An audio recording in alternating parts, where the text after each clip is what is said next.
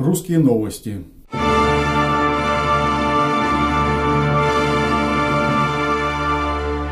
Выборы заканчиваются, пора подводить итоги. Они вполне ясны без всякого голосования. Мы прекрасно знаем, что результаты выборов от голосования абсолютно не зависят, и мы с самого начала знали, ну, те, кто не обманывал себя, кто будет объявлен президентом по, итогам этих выборов. Не правда ли Путин не собирается отдавать власть? Он нарушил все мыслимые законы, он не ушел в отпуск э, как должностное лицо, хотя обязан был это сделать. Он не участвовал в дебатах, он не выдвинул никакой программы. Он является самозванцем, потому что баллотировался на четвертый срок, хотя Конституция не позволяет баллотироваться даже и на третий.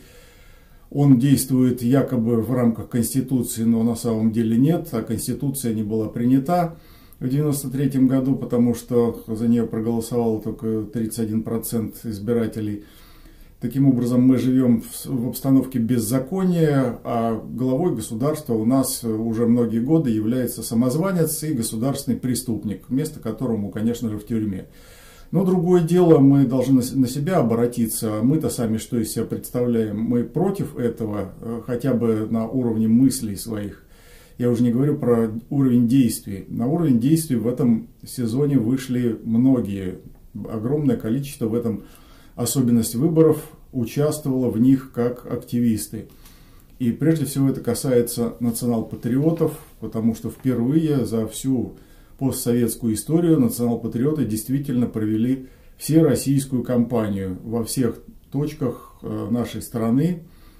И даже за рубежом действовали сторонники э, перемен, э, фундаментальных перемен, ликвидации олигархии, прекращения геноцида русского народа и, и других коренных народов, разумеется, но достигли ли мы какого-то результата? Так вот это и есть результат, вот это главный результат выборов – что национал-патриоты, оказывается, существуют. Ни одной политической партии, ни одной общественной организации у них нет, а э, национал-патриоты существуют. Социологи, сколько бы они ни пыжились, если они исследуют вопрос о популярности лозунга «Россия для русских», у них всегда получается больше 50%. Но это самый жесткий лозунг, его еще надо разъяснять, что Россия не только для русских, но и для русских тоже – тем не менее, вот даже в, таком, в такой формулировке все равно люди готовы поддерживать этот лозунг. Но, к сожалению, в политическую сферу все это дело не переходит, потому что запрещены, в России реально запрещены политические партии с русской национально-государственной компонентой. И когда возникает вопрос, ну а где вы, ребята, где вы покажитесь, мы вас готовы были бы поддержать, если бы вы хоть показались. Ну вот мы показались мы показались, используя ситуацию, которая, в общем-то, была не в нашу пользу, потому что выдвинуть своего кандидата мы в принципе не могли. Его бы просто не зарегистрировали, как и десятки других кандидатов, которые в авантюрном порядке пытались выдвинуться, пытались собрать подписи, но ничего не получилось. Так устроена система, что она не позволяет национал-патриотам выдвинуть своего. Выдвинули коалиционного кандидата, коалиционный кандидат – ну, какие у него качества были, с теми он и пошел на выборы, потому что не собирался до сих пор, не был политиком, не готовился к такой миссии.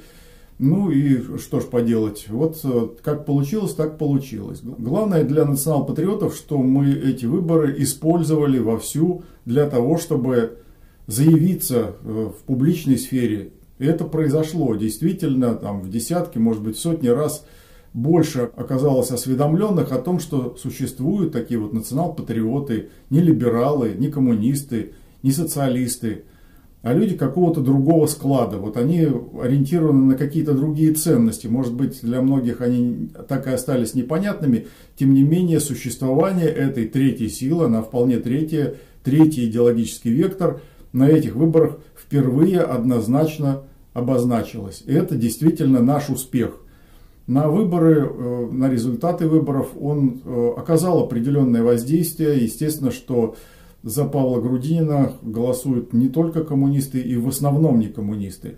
Коммунисты же это обстоятельство использовали для того, чтобы объявить Грудинина именно своим кандидатом, только своим, и приписать все голоса, которые будут поданы за Грудинина только себе. Вот мы, КПРФ, такие замечательные, но ну, на самом-то деле мы, в общем-то, протестировали, что из себя представляет КПРФ на самом деле. Это абсолютно никуда не годный штаб, он не способен работать вообще, то есть там управленческая культура на нуле, там не ставили задачи победить, э, там ставили задачи поучаствовать, набрать побольше голосов, но ни в коем случае не потревожить ныне действующую власть. И даже Зюганов лично ее хвалил, лично Путина хвалил за внешнюю политику, которая абсолютно провальна, вообще у Путина провально все. Но Зюганову надо было вот так вот хвалить и хвалить.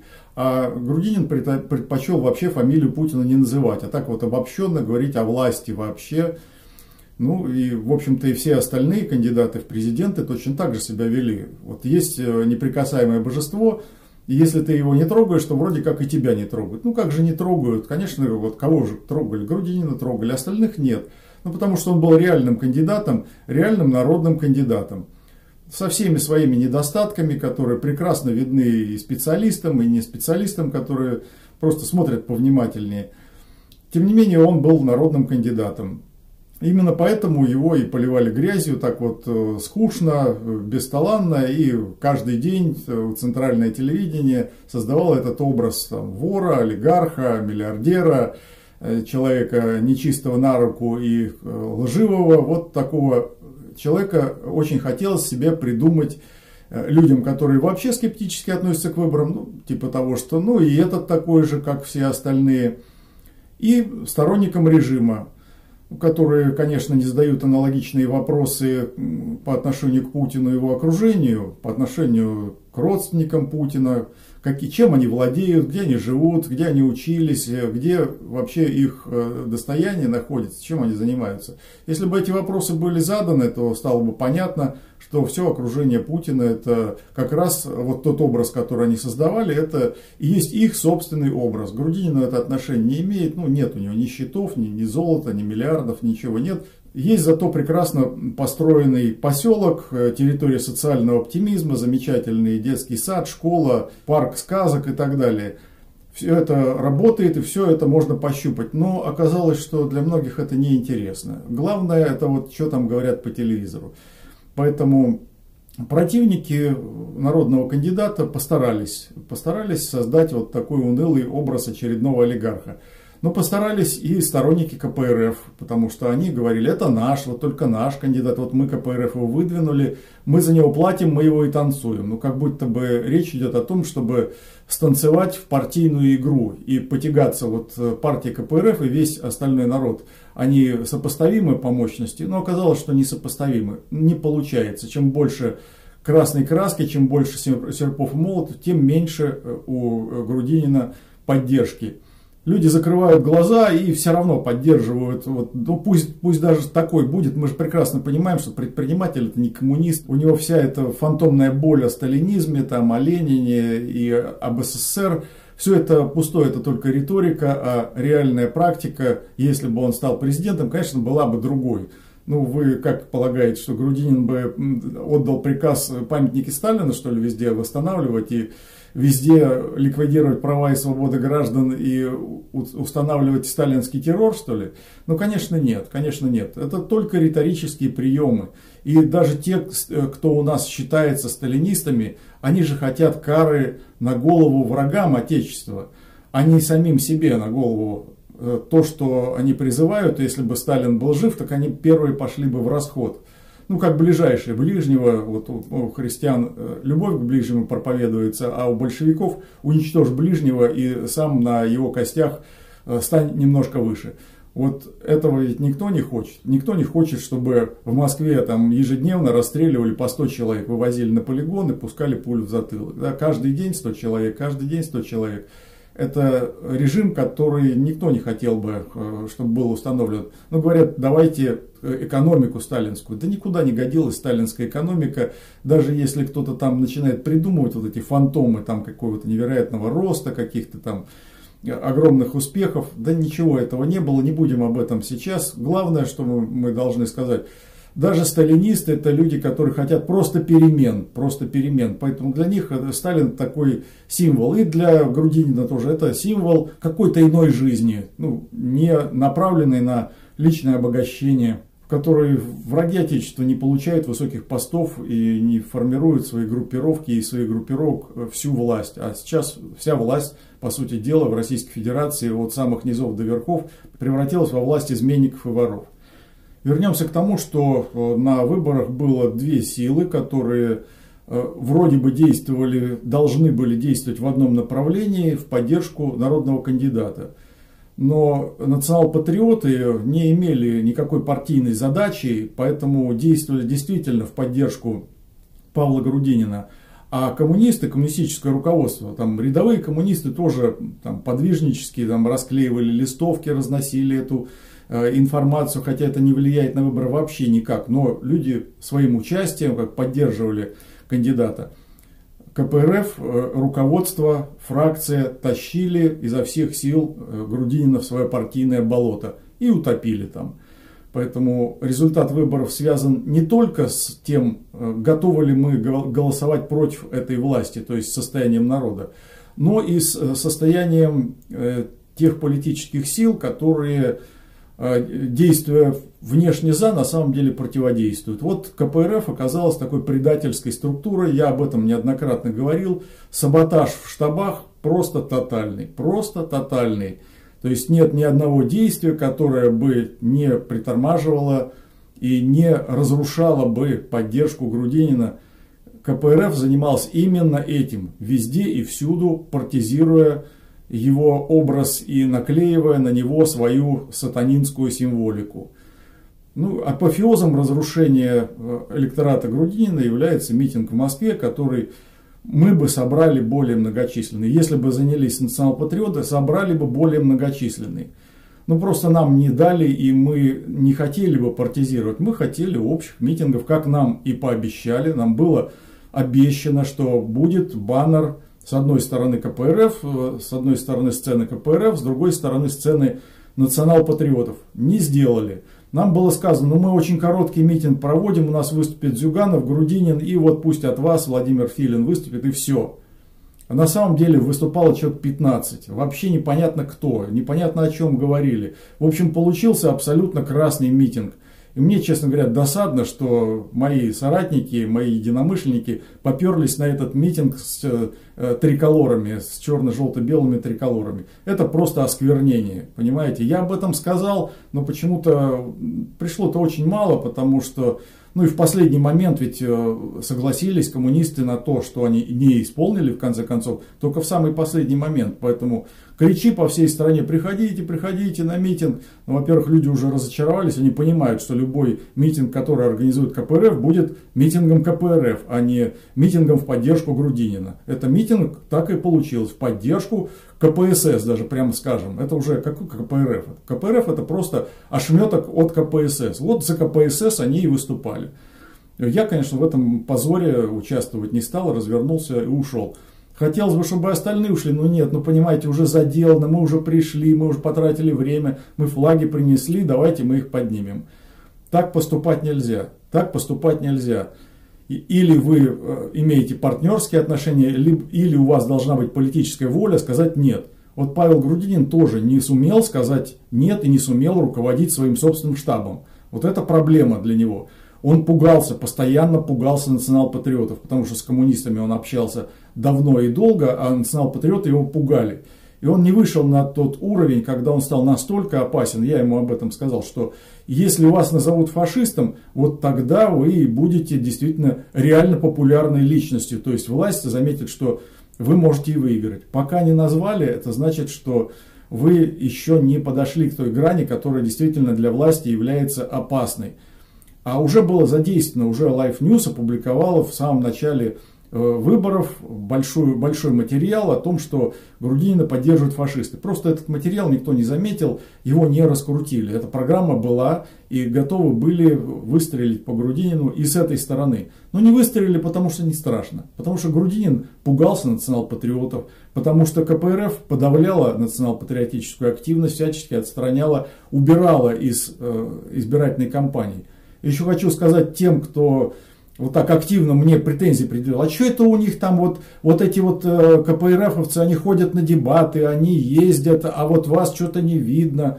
братцы мои, избирательная кампания не ведется от э, моего собственного лица. Вот то, что я могу делать, это видеоканал. А так, чтобы ездить, так, чтобы на дебаты вообще, а кто приглашает на дебаты? Это штаб кандидата решает, кого направить на дебаты. Ну и кого направляют. Я считаю, что дебаты вообще, вот можно их было использовать при всем э, их неудобном формате. Они полностью провалены. То есть целиком вообще нет ни одного достойного выступления. Если кому-то кажется, что они достойны, на самом деле результат их нулевой. И то, что я предлагал Грудинину, не было реализовано, надо было использовать эти дебаты только для анонсов. Анонс сделал, там-то будут реальные дебаты. Приходите и встречайтесь. Мне задавайте вопросы. Если нет, не с кем будет дебатировать. Мы найдем того, кто э, смело пойдет и готов будет э, действительно дебатировать. Но нет, нет, струсили, и Грудинин, видимо, почувствовал, что он не готов к реальным дебатам. С э, дебатов телевизионных он ушел, как я и рекомендовал. Но этого недостаточно, этого не надо было уходить, не надо было доверенных лиц туда запускать, которые ну просто безобразно выступали, просто безобразно. Ну за исключением Болдырева, который ну традиционно просто у него и образ такой сложился интеллектуала, интеллигента, который знает ответы на вопросы, умеет четко э, их освещать. Но надо было уйти полностью. Надо разрушать эту избирательную кампанию. И сейчас скажу то, что может быть не понравится сторонникам Грудинина – Павел Николаевич, надо кандидатуру свою снять.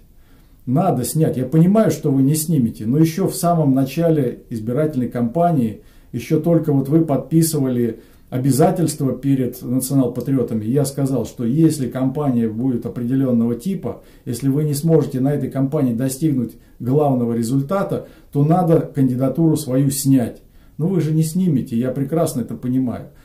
Это понятно, когда избиратели говорят, нет, не снимай, не снимай, потому что мы хотим за тебя проголосовать, и мы хотим посмотреть, сколько нас будет. Ну, во-первых, вы не узнаете, сколько вас будет, потому что выборы фальсифицированы.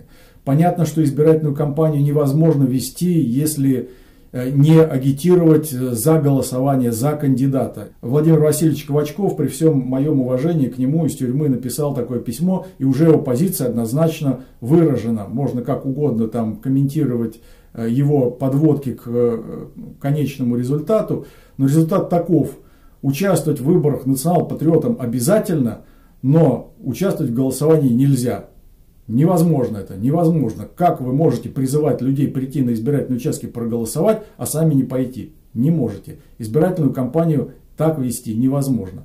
Поэтому мы призываем, да, мы призываем, надо идти. Но Грудинину, вот я сейчас говорю, ему надо снять свою кандидатуру и разрушить полностью легитимность этих выборов. Потому что на нем все сконцентрировалось, если он уходит с выборов, вообще они разваливаются, разрушаются, и явка будет 20% или ниже. А сейчас вот добиться явки 80% и добиться э, консолидированной поддержки не удалось. Не удалось. Это видно, это очевидно. Да, мы, вот интернет-партизаны, отвоевали интернет и интернет за Грудинина. Там минимум 60% за него.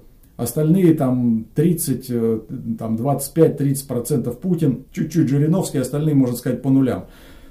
Мы отвоевали, но другая часть населения, кстати, гораздо более активная. Кто активен в интернете, это не значит, что он придет на избирательные участки. Остальная часть населения проголосует за Путина потому что она так привыкла, или не проголосует вообще, и тогда э, эти голоса будут использованы для фальсификации.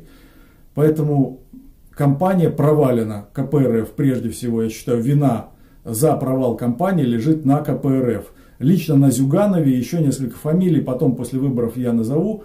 Вся, все это левачество оттолкнуло национально-патриотически настроенных граждан от Грудинина, и многие из них, я думаю, что половина из тех, кто должен был проголосовать, не пойдут. Технически провалена кампания тем, что нет э, такого всенародного единения вокруг народного кандидата. А есть раскол между путинистами и грудинистами. Вот грудинистов быть не должно. Должны быть люди, ориентированные на победу над олигархией, на установление нового общественно-политического строя. А понимания того, какой этот строй должен быть, нету. У Грудинина есть программа 20 шагов, которую неизвестно кто написал, и сам он не очень-то доволен этой программой. Кто-то там редактировал написанную в основном Болдыревым, поддержанную всеми сторонами, которые, с которыми он консультировался, все поддержали. но программа почему-то выпущена 20 шагов. Она не устраивает, не устраивает во многих отношениях, то есть интеллектуальный уровень достаточно низок. Ну ладно, просто есть программа и все на этом. Обсуждать программу бессмысленно. Какой общественно-политический строй? Проблемы национально-государственного строительства не освещались на этих выборах. Вообще не освещались. Русский вопрос отдан был просто Жириновскому и Бабурину, людям совершенно к этому вопросу отношения не имеющим. Это рутина, который, в которой не сказано ключевых слов, которые должен был сказать народный кандидат. Ему записка сделана была о межнациональных отношениях, по русскому вопросу, подробная с цифрами и так далее. Ему были сделаны разнообразные аналитические записки, которые он не использовал. Я ему сказал, что надо отрабатывать вопросы устно, потому что у нас формат избирательной кампании устный, а не письменный. Надо беседовать, надо работать. Но времени у него не нашлось. Поэтому я из штаба ушел, собрал свои манатки и уехал. Потому что смысла нет, если я не могу кандидата подготовить, чем я заниматься должен. Ну вот я занимаюсь интернет-пропагандой, занимаюсь выпуском э, видеороликов, которые собирают достаточно много. Кстати, больше, чем собирают э, официозные структуры КПРФ. У них есть такая структура «Красная линия». Примерно она получает финансирование миллион рублей э, за каждый рабочий день миллион рублей за каждый рабочий день. А эффективность близка к нулю, потому что содержательности нет, потому что там не о чем говорить, потому что там нет ни искренности, ни информативности, ничего нет. Есть только за те же деньги, которые выделяются, накрутка. Я видел эти, этот э, анализ, который был сделан, как делается эта накрутка. Ну вот нет своих голосов, давайте мы подкрутим количество, количество посещений. Вот красная линия. Впустую выброшены там, в год э, там, 250 миллионов рублей. И впустую выброшены 180 миллионов рублей только официальных денег, э, выброшенных КПРФ. Куда они дели эти деньги, я не знаю. Ну там 20 поездок, э, поездка, как сказал вот на одной из встреч Афонин, единственная встреча, которая была, национал-патриотов в присутствии коммуниста. Он сказал 200 тысяч на, на одну поездку.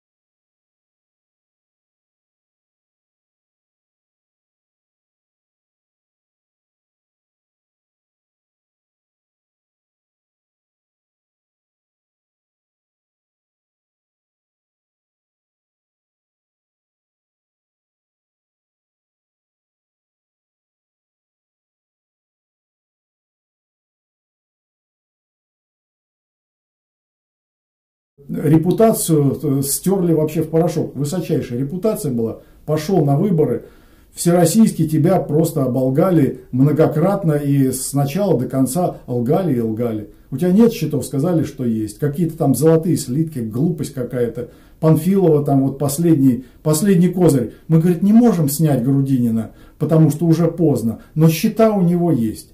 То есть он э, не по закону участвует в выборах. А раз так, тогда Грудинин должен сам снять свою кандидатуру, сказать, а, вы нашли у меня счета, все, по закону я не имею права участвовать, пока э, не будет разоблачена эта ложь, я в выборах не участвую, все, я пишу об отказе, ухожу.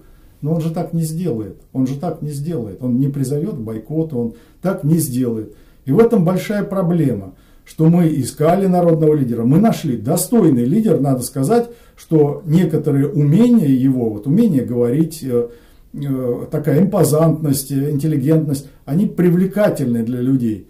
Но были элементы, которые не привлекательны, для нас не привлекательны вся избирательная кампания на одной ноте. Дзень, дзень, дзень, дзень, дзень, дзень, дзень. Одно и то же говорится, говорится, говорится, говорится. Уже не о чем говорить. Сам Грудинин говорит, ну дайте мне новые темы, потому что я уже исчерпался, я повторяюсь.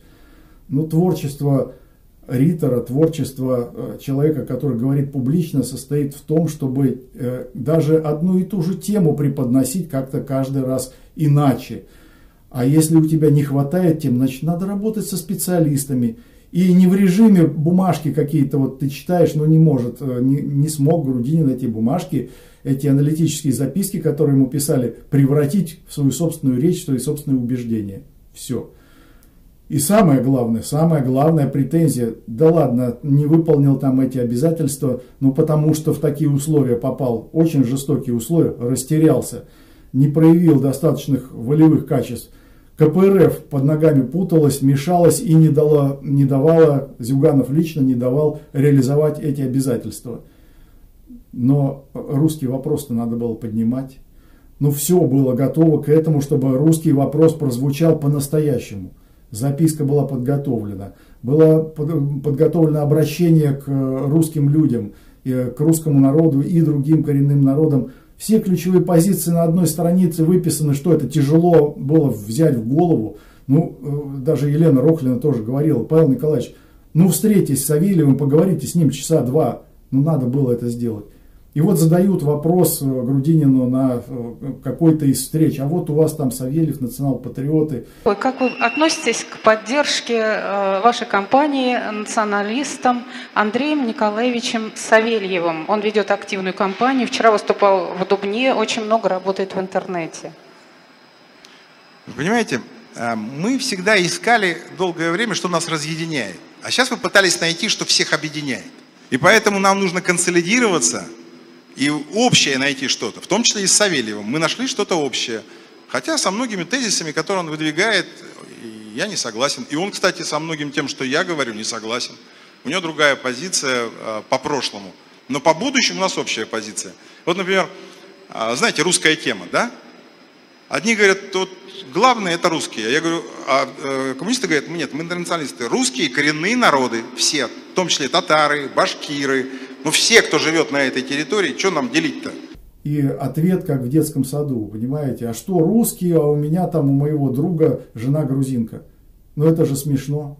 Это смешно, потому что проблема русского народа не состоит в том, что кроме русских в стране живут еще и не русские. Да мы все это прекрасно знаем.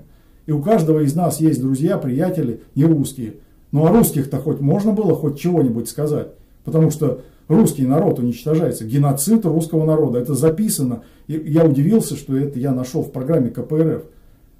И мы, национал-патриоты, об этом постоянно говорим. И у КПРФ написано, ну ты скажи хоть раз, геноцид русского народа. Нет, не получилось. Павел Николаевич не смог этого сделать. Он э, к привычной риторике, вот он как Э, такой добросовестный ученик выучил эти 20 пунктов и постоянно говорил, у нас в программе записано, у нас в программе записано. Но много чего не было записано. Вот этот ключевой вопрос, русский вопрос, не был поднят во время избирательной кампании. И это тоже оттолкнуло людей.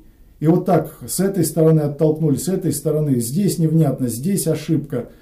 Э, нет работы по подготовке к публичным выступлениям. Бессмысленное занятие времени э, вот этими бесконечными визитами и убеждением тех, кто уже и без того убежден. Надо работать было на электоральные группы, на идеологические группы, которые вот заряжены определенными идеями. Ничего этого не было сделано. Ну, поэтому и результат такой. То есть, э, когда увидите результат, э, не, не удивляйтесь, потому что Путину даже толком фальсифицировать ничего не надо, потому что э, КПРФ и Грудинин сами распугали тот электорат, который сомневался, идти, не идти, и не пошел. И не пошел, потому что не видит вот этого необходимости проявления солидарности. Я пойду. Я всем говорю, идите на выборы, идите, голосуйте. Но Грудинину я говорю, снимайте свою кандидатуру с выборов – снимайте, потому что не смогли, потому что КПРФ все разрушило, потому что вы сами не смогли и видите, где не смогли. Кстати, надо сказать, что Грудинин человек умный, когда с ним говоришь и указываешь на то, что вот провокатор у тебя работает, вот он это все понимает. Идиоты там э, выступают э, с трибуны э, от КПРФ, он это знает, он это подтверждает. Он говорит, я не знаю, откуда они взялись, мне навязывают все штаб. Но он не стал лидером своего собственного штаба. То, что КПРФ ему навязывал, то он, он и делал. Ну какой же это народный кандидат и народный лидер, если какая-то партия, какая-то ничтожная кучка людей, которая толчется там где-то в Государственной Думе рядом с Зюгановым, навязывает ему свое мнение. Конечно, это никуда не годится. Грудинин не стал хозяином своего собственного штаба и не стал лидером для тех, кто его окружает, кто его непосредственно готов был поддерживать. Для штаба э, НПСР не стал, хотя в его собственном совхозе это было рядом, хотя бы зашел бы хоть раз с людьми, нормально по-человечески поговорил. Не, надо ехать э, к тем избирателям, которые без того за тебя, которые будут тебе аплодировать. Это скучно. Это скучно. Надо прежде всего работать со своей командой. Она должна быть единой, сплоченной, действовать в одном и том же направлении. Но что же вы ничего не сделали, Павел Николаевич? Ну раз так, надо сниматься с выборов. Надо сни... хотя бы один поступок совершить. На выборах ведь не было ни одного поступка. Вот сейчас можно сделать поступок и стать из марионетки КПРФ. Я-то думал, что из вас будут делать марионетку кремляне. А сделали КПРФ. Но если вы не можете, не смогли оторвать эти ниточки, ну совершите поступок. Этот поступок превратит вас в историческую личность.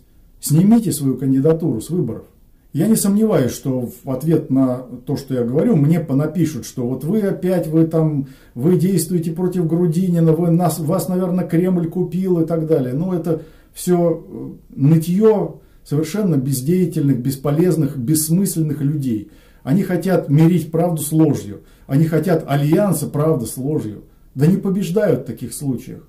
Победить можно было только сплотив вообще все, сложив все элементы, которые только есть все преимущества сложив вместе и направив в одну цель. Но не получилось. Не получилось в этот раз. Много чего получилось. Прямо скажем, у национал-патриотов много чего получилось. У коммунистов вот апофеоз их безнадежности и апофеоз их подлости, это вот этот митинг в Москве, где там 500-700 человек, мы бы собрали больше. Я точно говорю, когда был, э, были события в Донбассе, мы собрали больше. И сейчас бы собрали больше. А если бы действовал единый штаб, мы собрали бы многократно больше. А здесь, ну, когда эти коммунистические мелодии, сплошные коммунистические флаги, опять Зюганов на трибуне, вообще ни о чем, речи ни о чем. Вот тогда, конечно, и людям это не интересно. Скучная избирательная кампания. Э, коммунисты ее засушили, и Кремль ее засушил. Совместными усилиями явка будет низкая. Ну, не удалось, раз явку не удалось обеспечить только с высокой явкой 80%, Грудинин однозначно побеждал. Но не смог, но не смог. Поэтому надо снимать свою кандидатуру, надо. И кто-нибудь там, кто поближе, ну скажите Павлу Николаевичу, снимайте кандидатуру. Тогда будет поступок, это будет действительно громкий поступок. И объясниться можно будет, и дальше продолжится политическая судьба. А если этого не сделать, то судьба заканчивается, все, судьба закончилась. А дальше что? А дальше о чем разговаривать? Несостоявшийся политический лидер, человек, который проиграл выборы, о чем дальше вести речь? Ну и что будет дальше? Что будет дальше? Конечно, Путина объявят президентом. Вся сволочь, которая вокруг него присягнет, средства массовой информации присягнут. Главное, чтобы мы не присягали ему. Ни в коем случае, ни в каком виде нельзя служить этому подлому режиму. И нам надо готовиться к будущим боям. Политические репрессии будут обязательно. Будут людей в тюрьму сажать за то, что они против Путина, э, за то, что они противодействуют э, беззаконию, беспределу в России. Будут сажать в тюрьму. Вы будете проявлять солидарность с этими людьми. Но ведь до сих пор-то эта солидарность вот едва-едва только прощупывалась. Только энтузиасты, вот Елена Рохлина и вот такие люди эту солидарность проявляют. Остальные как будто забыли, что идет война против вас. И люди, которые за вас выступают, сидят в тюрьмах. И будут еще и новые будут репрессии. Будут стремиться к тому, чтобы шумно чего-нибудь там устроить. Вы за 500 рублей пойдете, так как вот э, к Путину пошли, этот э, стадион забили там гастарбайтерами, э, студентами, школьниками и так далее. Вы пойдете за 500 рублей продавать родину очередной раз? Нет, нельзя этого допускать. Нам нужно, чтобы настрой, связанный с неприятием этой власти, расширялся и дальше. Расширялся и дальше. И чтобы это, эти выборы были провалом путинщины, а не триумфом. А ведь они постараются сделать триумф. А вы все опустите руки и скажете, ну не получилось, все, мы больше не можем. Мне претензии предъявляют те, кто вообще никогда ничего не делал. Вы когда-нибудь пытались объявить бойкот выборам? А мы пытались, многократно пытались. А чего вы нас не слышали? Вот только сейчас вдруг какая-то такое, такое поветрие возникло. Давайте бойкот, давайте бойкот. Сколько вы обеспечите за бойкот? Да нисколько вы не обеспечите, никто вас не слушает. Всякая маргиналия понабежала там. Э, люди, которые начали поливать грязью там всех, кто участвует в выборах, называть там ватниками, совками и так далее. Ребята, есть шанс победить на выборах. Был шанс. Ну, сейчас я уверен, что его нет. Но шанс победить объявят-то все равно Путина, это понятно. Но главный шанс был победить, привлечь к себе большинство активного населения, которое придет на выборы и проголосует. И это население, если бы оно пришло, оно знало бы, что оно победило. А сейчас вот с помощью вот этих э, кремлевских мурзилок, э, которые тоже расстраивают эти настроения, да все бесполезно, да ничего не сделаешь, да вообще все это фальшивка и так далее. Да, фальшивка, мы это знаем прекрасно. Но если вы не действуете в общем русле, то вы э, просто растаскиваете общий поток народной ненависти к нынешнему режиму. И эта ненависть замыкается сама на себя, вы начинаете устраивать дрязги внутри, вы, вы как будто бы продолжаете работу путинистов по дискредитации не только Грудинина, еврей, там, миллиардер и так далее, все, но и вообще всех, кто вокруг него находится. Все, кто искренне его поддерживал, вы разрушаете э, народный настрой на победу над олигархией. И поэтому вы тоже достойны ненависти. Э, вот социальная среда в течение этих выборов сильно преобразилась, сильно преобразилась, и, скажем, мое окружение, люди, с которыми я общаюсь, сильно э, изменились. То есть те, кто раньше, может быть, был каким-то, прикидывался соратником, сторонником, перестал им быть, потому что там мозги э, съела юдофобия или э, вот какая-то неудовлетворенность, какие-то комплексы полезли из людей – ну, мы их быстро, конечно, там в социальных сетях это легко делается, от этого окружения мы избавились. Новые люди пришли, вот их как-то надо сконсолидировать и как-то создать организационные структуры, поэтому я и призываю из НПСР сделать политическую партию, зарегистрированную. Часть э, людей, которые не захочет пойти в партию, все равно с ними надо оставить, поддержать контакты, неважно, в партии человек, не в партии, неважно, он все равно наш, он э, входит там в штабы НПСР, беспартийный. Но э, партию надо создать для того, чтобы формально выполнить э, требования закона. Закон-то беззаконный, конечно, но все равно для того, чтобы формально юридически выйти на какие-то следующие выборы, надо зарегистрировать. Партия Великая Россия, партия Ордена регистрироваться не будет. Она более жесткая, более консервативная. А партия русских националистов вообще в нынешних условиях э, не может быть зарегистрирована, мы не будем собираться, но тем не менее мы собираем таких более жестко и идеологически определенно настроенных людей в своих рядах. Это как бы будет опора НПСР. Наша опора еще будет, и надо консолидировать этих людей Э, на монархистов. Монархические настроения усиливаются, это совершенно очевидно. Для меня, я наблюдаю за этим внимание. Это третья структура, третья сила. Вот три компоненты. Национал-патриоты, русские националисты и монархисты. Вот три структуры, которые совместно могут заключить коалиционное соглашение на каких-то крупных следующих выборах. И выйти э, с тем, чтобы попасть в парламент, э, с тем, чтобы выдвинуть народного кандидата, снова выдвинуть. Может быть, другого, вот Грудинина, я сомневаюсь, что второй раз имеет смысл выдвигать, не получилось. Не получилось. Недостаточно ни его личных качеств, и вот это левачество, которое фактически убило его репутацию, уже все. Он, если он не снимется с выборов, то он, можно сказать, битая фигура, но он не станет же главой НПСР, правильно? Он пойдет снова к коммунистам, и там, наверное, может быть, он станет главой КПРФ. Это даже очень хорошо, потому что, ну, хотя бы с ним можно будет какие-то, какой-то диалог вести, а с Зюгановым уже бесполезно. То есть Зюганов э, это человек, который лгал всю жизнь, лгал, когда был в КПСС, э, лгал, когда возглавил КПРФ. То есть э, тотальная ложь от него идет, бесполезно. Если Грудинин станет лидером КПРФ, это будет, конечно, большим продвижением вперед, и я на это, на это надеюсь. Но надо сняться с, с выборов. Надо сняться с выборов, если э, есть желание продолжить э, свою политическую деятельность. Мы победим, обязательно победим, и шаг к победе на этих выборах мы сделали. Может быть, не такой, хотелось бы сделать 10 шагов, сделали из 10 только один. Но в правильном направлении мы пошли и будем дальше двигаться в этом направлении.